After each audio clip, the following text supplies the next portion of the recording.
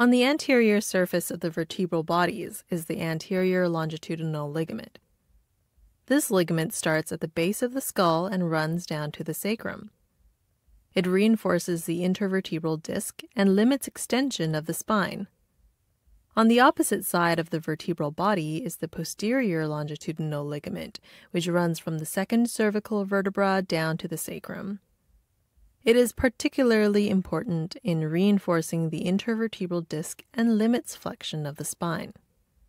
Next, the ligamentum flavum is a ligament that connects the laminae of each vertebrae.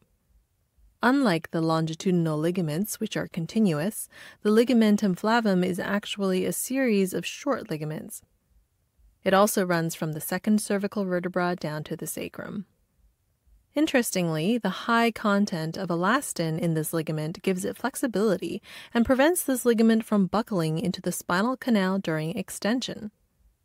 It is possible for the ligament to hypertrophy, though, which could then cause spinal stenosis, a narrowing of the spinal canal. Spinal stenosis can also result from other factors, such as tumors or bone spurs.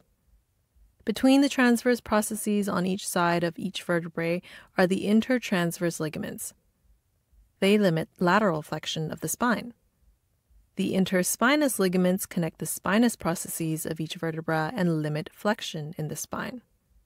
Finally, the supraspinous ligament is a continuous ligament originating from the C7 vertebrae down to the sacrum.